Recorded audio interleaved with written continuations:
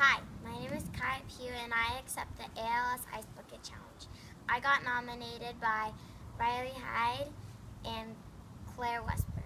I nominate Carter Bolnick, Chloe Swanson, and Paige Myers.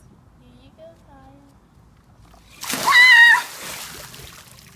That's nasty. Thank you.